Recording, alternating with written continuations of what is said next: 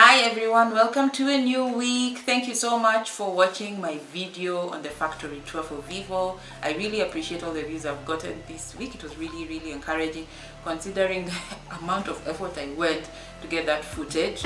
I really appreciate the views. I hope that I'll continue to get more views as well on the other videos. If you're new here, very, very welcome. Yes, this channel is a fashion channel, believe it or not but I have I usually get a lot of questions when people discover that I was a Mandela Washington Fellow. I'm going to explain what that means, but when people discover that, they always want to know more, they want to know about my experience, they want to know how beneficial it is, if they should apply and everything like that. And I thought that it's important to create this resource so that people can be able to just get the information without having to always look for a fellow to ask certain questions. And the truth is as well that some of the aspects of the application and some of the aspects of the interview do change once in a while just so that um, people are actually given a genuine opportunity to get into the program without being spoon-fed by previous fellows. I hope that makes sense. I have also been on the other side um, of the seat where I marked applications so I kind of know how some of these things go. And no i do not you do not mark for your country you mark for other countries. So it's a whole process. They try to make it as fair as possible. And no i know the bits are there. You do not have to pay. There is no paying a politician so that you can get in. There are no favorites or favors to get into the fellowship. There are a lot of rumors like that that circulate because it seems like some certain people get in and others don't and no there's no classism. In fact i think sometimes they give more opportunities to people in rural people who are doing more impact in the rural areas even sometimes more than urban because rarely do they get opportunities to do it. The one thing i would say is just get your english right and your grammar right because it really does um, make a difference in how people understand your application. So anyway i'm going to explain all that in depth but i think it's fair to explain what the fellowship is, what the other programs under the YALI umbrella are, and how you can plug into them. They will be in slide form. They will be, it will be very, very short, and then now I can explain my personal experience. Please note that I'm going to be specifically talking about my personal experience.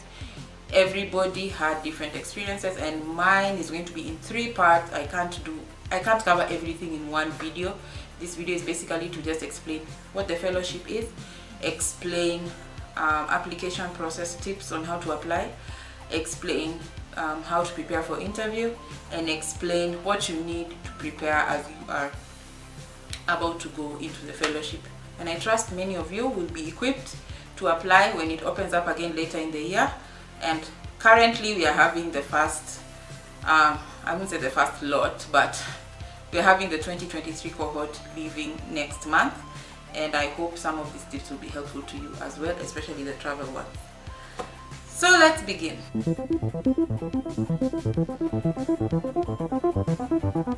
What is YALI? YALI is the Young African Leaders Initiative that was launched by former US President Barack Obama as a signature effort to invest in the next generation of Africans who 60% are below the age of 35. So YALI has three different programs that I am aware of: the Mandela Washington Fellowship, the YALI Regional Regional Leadership Center, and the YALI Network. So I'll avoid reading too much of this because you can get them all on the websites written below. So the Mandela Washington Fellowship for Young African Leaders is an exchange program, um, and you participate it in three parts business and entrepreneurship, civic engagement, and public management. You go to the US for six weeks to the institutions, colleges, and universities that have partnered with the fellowship, and you go there for classroom learning, experiential learning, community outreach, cultural experiences, and all that.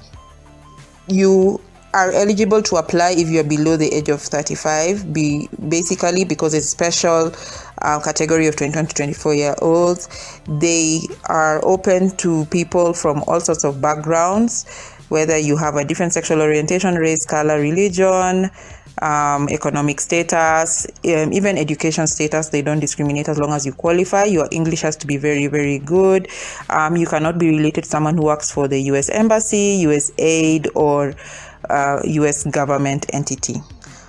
The program is open to people residing in um, sub-Saharan Africa, and even if you are a resident of the countries but you're not in the country you can still apply if you've already done the program before you cannot apply next we have the yali regional center so for the specific slide you're seeing i've written east africa nairobi because the regional centers are three. There is the east africa west africa and south africa. So the west african one is hosted in ghana.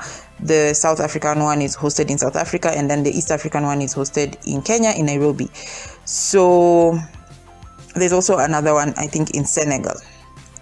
So these centers are hubs for the continent. Basically, the curriculum is um, a bit different because it's a bit more localized, but it is still in the three tracks for um, business entrepreneurship, public management, and civic leadership. It has way more activities because of how regional it is, and way more partnerships um, that are locally based. Eligibility for this one is from 18 to 35 so as long as you finished high school you're eligible to apply. And also english is a requirement and of course you apply according to the region you are in. So for east africa you apply if you live in the region and the countries are listed on that slide. Eligibility criteria um, is listed on this slide and you can see you have to really demonstrate leadership. Um, you have to be really engaged in your community. You have to work co- cooperatively have social communication skills energetic attitude demonstrate knowledge and skill and commit to apply leadership skills um, that you've learned. I have also seen people who were in this specific program regional leadership taken into um, MWF Yali because um, they're already making so much impact. They they were allowed to also join the Mandela Washington Fellow. So do not dismiss this one because you really want Mandela Washington Fellowship. Um, yeah, but I don't know if right now there's really that transitional um, effect anymore. But I know that there are some fellows who've done both. So the Yali network is a digital network that was established as a diplomacy tool to help the United States expand um, reach for of in-person exchange programs. So they have various various programs which is listed in the next slide. So you can participate in all these whether you've been a fellow or not whether you just want to to be part of Yali, the Yali network on Facebook. It has a very big Facebook page, and you just want to be involved in changing things for your community. Whether you are a fellow or not, you can join the Yali network. So, if you are in the Yali network, you get all the emails about these other programs. You are notified when they are open, and also notified for other um, activities and other um, programs that the US Embassy and the USAID may have outside of Yali. So do not limit yourself to Yali if you don't qualify for Yali or your time or you've passed the age uh, of Yali. Just know that the opportunities are there and you'll always be notified on email of other opportunities, whether they are Yali opportunities or not. So I hope that now you get the gist of it, um, what the programs are about under the YALI umbrella. Please please check the website. It has more information. I just wanted to give you what it is and who is eligible so that at least if you know you're eligible you can go to the website and just look for more information. And please understand that you cannot fake your application. You cannot fake your community impact. They do check and you need to have evidence. So it's very very important that you're sincere in your application. It's very very important you do not cook stories or anything like that and please understand that the Yali programs are very very competitive and they do try and take the top people. And the, there are countries in Africa Kenya, South Africa, Ghana, Nigeria um, because it's sub-Saharan Africa. Very very competitive very many applications very many eligible people. So just because you're not picked doesn't mean that you're not good enough for the fellowship. Always just keep trying. Honestly i applied in 2016 and i not 2016 2014 and i did not get in. I was very discouraged and I actually thought that they were having a bias against people in the arts or in fashion. And when I applied again in 2016 I got in. And I wouldn't say that um, I'm so special that I got in. I did I did pray a lot. I kid you not I prayed a lot and I really really thought that whatever opportunity I got um, by going to the US was going to be beneficial and it has been very very beneficial especially just being immersed in a different culture with people who think differently from you. And I'm not just talking about the Americans I'm talking about the Africans I was with as well in my class. So in a nutshell this is what usually happens. The universities in the US also compete to host Africans in the program. So it's not just you are picked. The schools are not just automatically picked. They are actually they actually have to apply to host African fellows and they are checked and then they are approved. And they each come up with their own program according to whatever track it is that you applied for. Remember there are three tracks civic business and public so um, yeah it's divided amongst that. In my year we were a thousand fellows so each university was getting 25 students.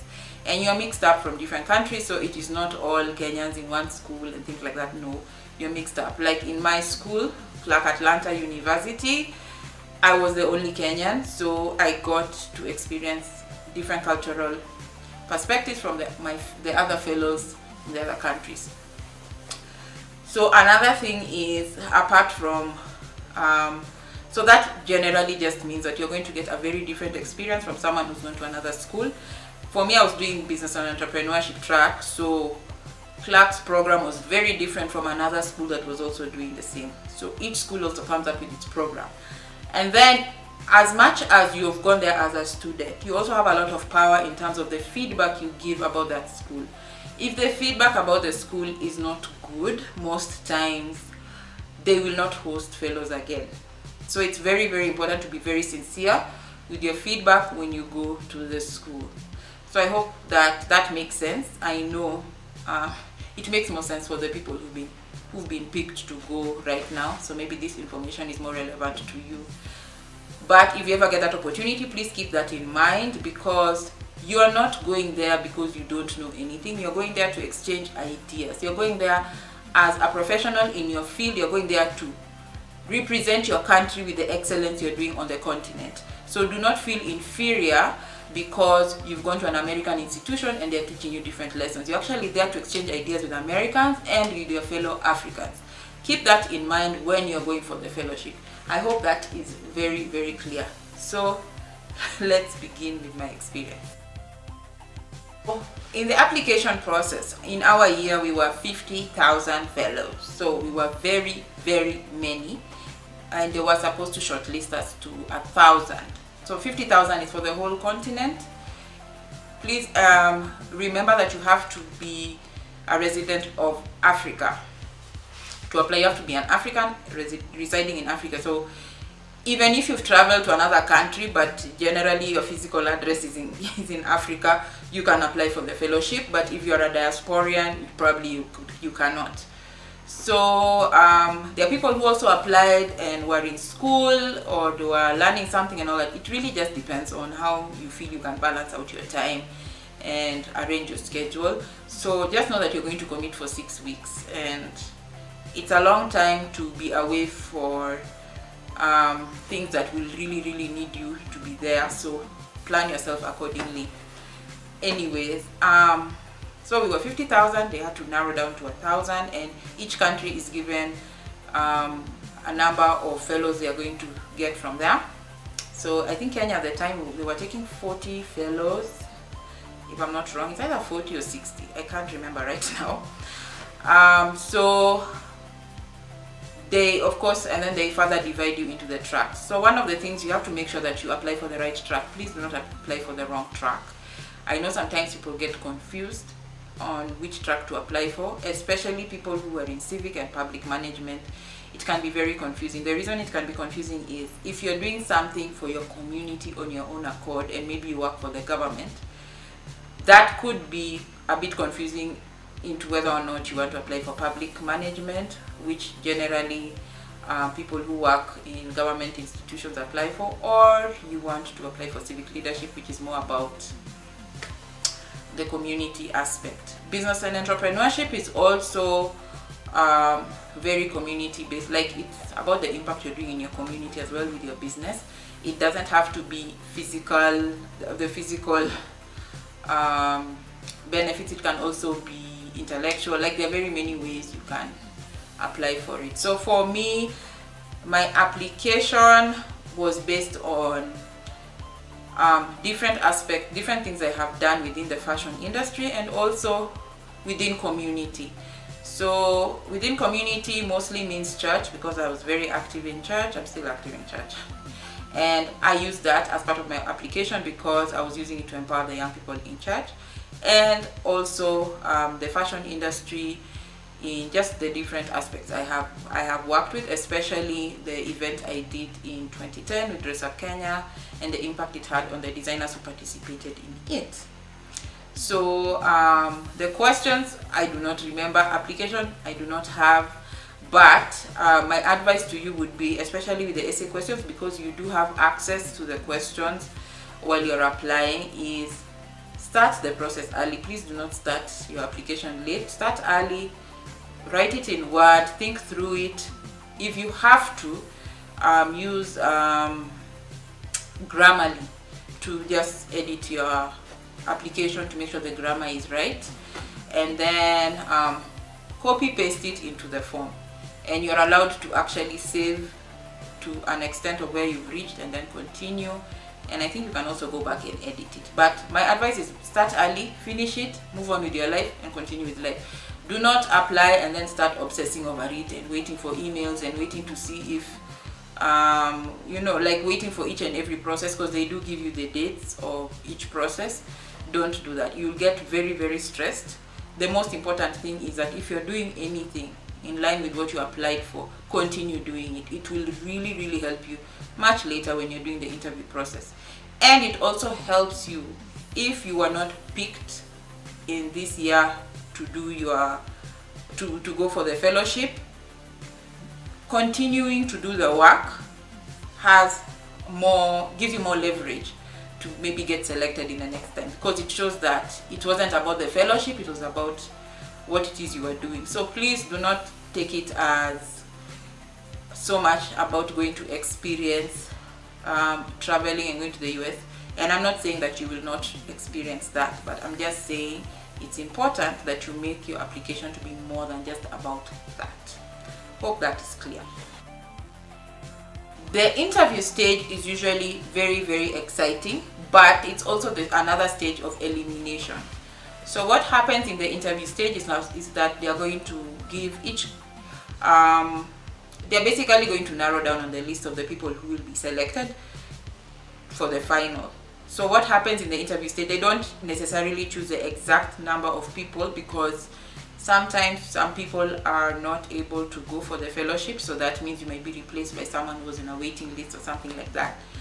So the interview stage, please be prepared. Whatever it is you wrote in your application, you better remember it because the truth is most of the time the interview is in the next year in May and you applied in September. So you need to remember what you applied for, which is why it's important to just write exactly what you're doing have evidence um, of what you're doing one of the things I did is that I had a lot of pictures of what I did. At that time you couldn't just tell someone to go on social media. It wasn't it was social media was there but you didn't really use it to market yourself. So I printed pictures I printed them and I took them to the interview. And because I really I and I also took my certificate like I, I took anything that would be evidence of what I said is what um, is what I do and the there's a panel usually that will interview you. They interview in groups and they interview as individuals. And then um, they have summaries of what you've done and your application and they ask you questions based on what you wrote. So it's very very important that you're sincere.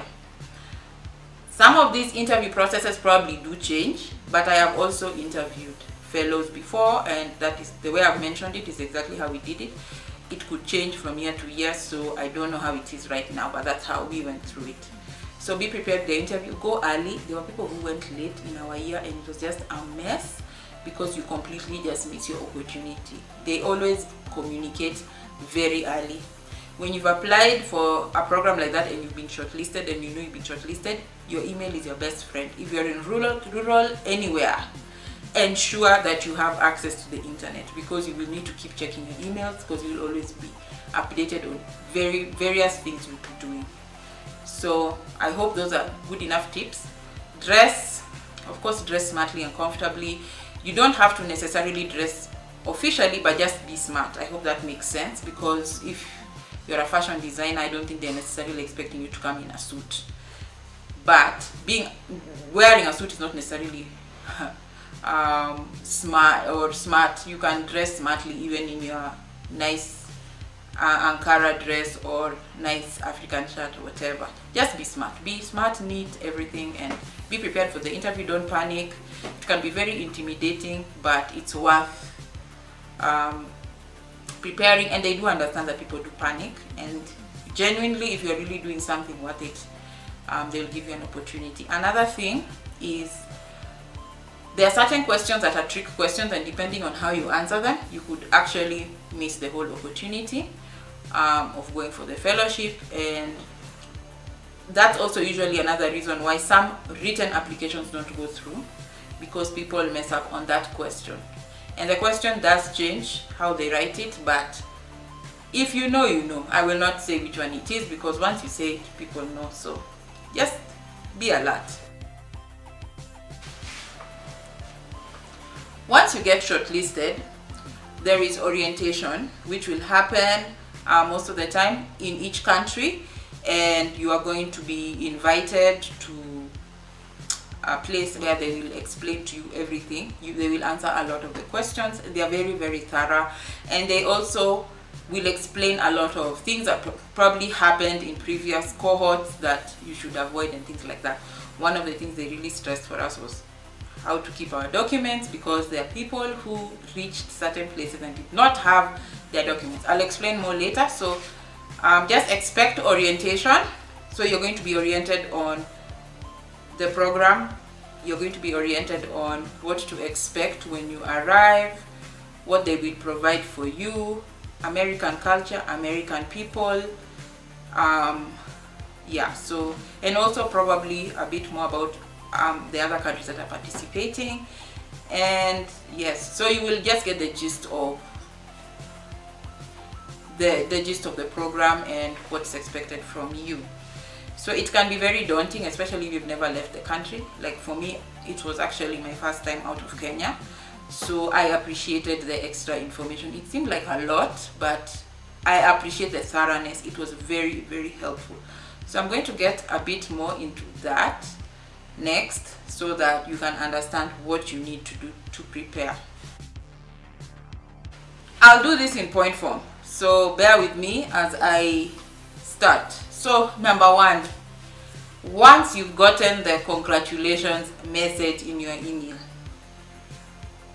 completely update your LinkedIn. I know here in Kenya we tend to neglect our LinkedIn sometimes if you are you've been shortlisted for the fellowship update your linkedin. Have all your information on your linkedin because uh, we were advised that in the us people actually take linkedin very very seriously and people would rather follow you on linkedin than keep taking business cards. Please carry business cards either way because you need them. In our year the fellowship printed for us our business cards um, because um, they, they did personalized ones with YALI Mandela Washington Fellow because the, some of the people you are meeting already know that they are meeting YALI fellows so it's easier for someone to remember um, that they met you because you are a fellow. And they just write your basic information like your email because phone number. At that time WhatsApp wasn't as popular as it is now in the US so it was mostly emails that we were using. So just have your own business cards as well. It may be very very helpful and also just update your linkedin. Follow people on linkedin when you are there and just get that straightened out. It will really really help you. Ensure that you have a valid passport because you will need one um, to apply. Um, they will ask you for documents and yes you're going to get a visa appointment and they will do it for you. And please understand that this fellowship is fully funded. You're not going to pay anything that is one of those things that people misunderstand about the fellowship. There is no money that you remove. They take care of everything. When i say everything i mean everything. So i will explain to you what you need to do for your own personal self but just ensure that passport is on you. Ensure you have a valid passport. Ensure you have that passport when you are applying. You know that time you are applying the previous year that's when you should actually take care of your passport. But because you know how long the process can take at times. Do not try and do these emergency passport situations. Get your passport early. There are certain shots you will need to get before you travel. So the shots um okay now i don't know if covid is a must but at the time we were going um yellow fever i think there was a yellow fever outbreak in tanzania at that time. So yellow fever was compulsory. So we got it um yeah i think those are the only shots. Of course if you had the other ones that you got when you were a child then you're fine. Just in case you did get them. Just know that it's going to be on the list of requirements which you of course as i've said they, they are very thorough with their information so you will know what you need because you're going to actually fill in a medical form so you will know what you need to write. Another thing uh, before i forget to mention which i'm sure i mentioned when i was explaining is whether or not you have a disability or you're living with a disability doesn't matter. They also don't really care about sexual orientation. They don't care about all that. They just care about what you're doing and how it's affecting your community especially if it's good work. So please don't discriminate yourself because of that including religious. It doesn't really matter. Just make sure you don't have a police record as well. Please make sure you you don't have you'll not be asked for a certificate of good conduct. But please note they do, do they do background checks so just ensure that you're on the right side of the law and don't break any laws or anything like that I would advise you to fill the forms you've been sent for immediately. Don't wait for the deadline and anything like that. You know, anything can happen. Electricity can disappear, internet can disappear, anything can happen. Fill in your forms early. Fill them in early, send them in early. The earlier you do it, the better. Packing. I thought it was a joke when I was told by my dad to pack my luggage a week early. And it practically saved me from a lot of headaches and heartache as I said, they, they are very thorough with the itinerary they give you. And part of the things you are suggested for are the kind of clothes you need to carry. You're told to carry certain formal, certain cultural. Kenyans, please carry cultural. Please carry cultural. It will it's always so embarrassing how Kenyans don't prepare for cultural and then the other countries shine. Please carry something cultural, even if you all agree. And please agree on one thing, it's usually just better. And even if you decide you're going to do Masai or you decide you're going to do Kikoi or you decide you're going to do Kanga, please just pick something cultural. Do not go without anything cultural. I've, I've really stressed that and I've stressed that from my heart. Anyway, um, they give you a list of the kind of clothes and shoes you need to carry. So it is important that you prepare. You are told so early because you are told almost a month before you travel.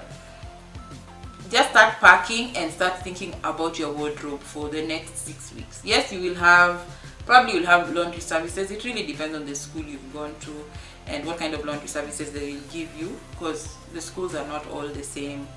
Um, in the school I went to they gave us they, there was a washing machine and a dryer in the room and I'll explain that next next week when I'm talking about my life in Clark. Um, so plan your wardrobe put it in the suitcase and make sure you just don't wear those clothes that you've packed for the next couple of weeks. And if you're the type of person who adds and loses weight very fast please think through that as well. Um, the shoes you need to carry um, yeah all your think about your hair think try and make your hair just before you travel if you have to and just think through your wardrobe. If you have access to um, in those at that time the cameras on the phones were not very good so i know um, i um, thank god for our year we had um, a fellow from tanzania who had a very good camera. He had carried his professional camera and i think majority of our photos were from him and we were very diligent in taking those photos. I think we took so many photos. I don't know if other cohorts managed to take photos. We took photos of everything and everything we did. So we have many, many photos for our cohort in Clark. So um, take as many photos as you want. Um, also, when you post the photos um, on social media, tag tag YALI, um, tag the American Embassy, just tag any institution, tag the institution who's hosting you, tag, tag, tag. So those photos are important, so do take them. Even if you don't want to share them on social media, they are important to share because it's part of um, documenting the fellowship and how successful it is. And also just for you, like for me, preparing this video, I've really reminisced a lot about my fellowship. So take photos. Things you need to think about um, are the weather. So also check the weather of the place you will go uh, what kind of weather they get how hot it is how cool it is and things like that. That would probably also affect what you're carrying in terms of the clothes um, that you're going to carry. I was in Atlanta and it was pretty hot. It was like our January weather in Nairobi. You know how hot it is in January? With a touch of humidity. But not as humid as Mombasa. I hope that makes sense to Kenyans. Anyway yeah. So it was pretty hot um, so and Americans love their AC their AC now becomes like our cold season. It's so cold. It was such a big contrast but yes. Um, yes it was very very hot. So keep that in mind. Keep think about the weather. And also because it's summer um, the program is always during summer the days are longer. So that just means the sun will set at 9 p.m I've told you early so that you don't get as shocked as I was but it was very very interesting walking around at 9 p.m outside. Yeah so that was very interesting and amazing. So and also the sunrise is very early so their days are long and their nights are shorter.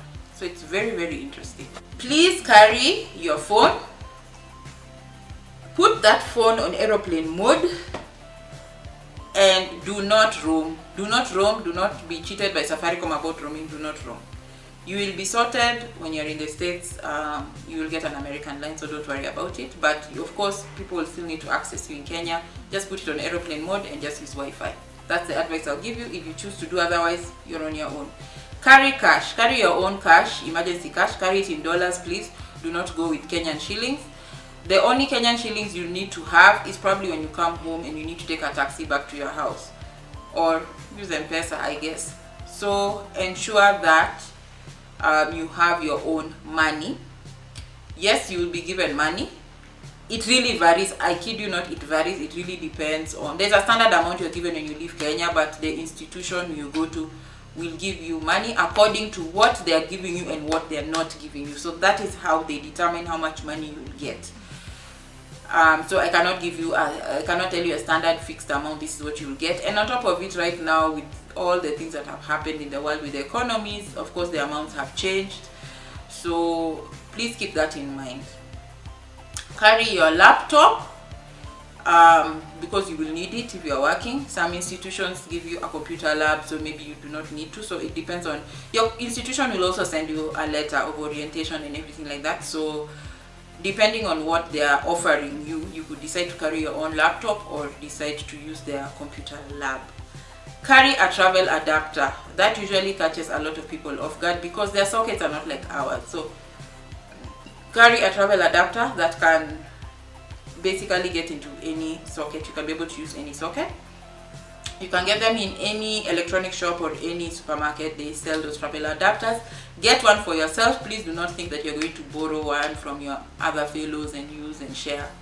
That won't happen. Carry your own the logistics will be managed by IREX I will write what IREX means down here they will handle your logistics from the time you are leaving Kenya to the time you reach the institution that's hosting you and then the institution will take over um, your itinerary from there and then IREX will take over again when bringing you back home. They are very very thorough as I've said. Check your emails, check your emails, check your emails. You will be explained for every single thing that you need to do and every single thing that you need to expect. Of course, if something goes haywire, it's important to always communicate with IREX. Anyone who communicates with you about the fellowship, whether it's someone who works at the embassy, someone who works at IREX, your fellow fellows from your country have their numbers. It's very, very important. It will help you in cases of emergency or just generally it's good to keep in touch. And also after the fellowship and you come back to Kenya, there are activities you'll do, you will still need those contacts. So it's very, very important to always just keep in touch um, with those who will be in charge of your itinerary and so that nothing happens to you. I hope that is clear.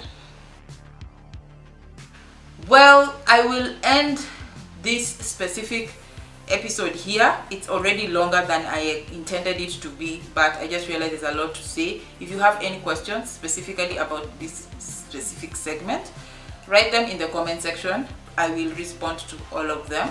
Um, it's important that you are well prepared and everything like that.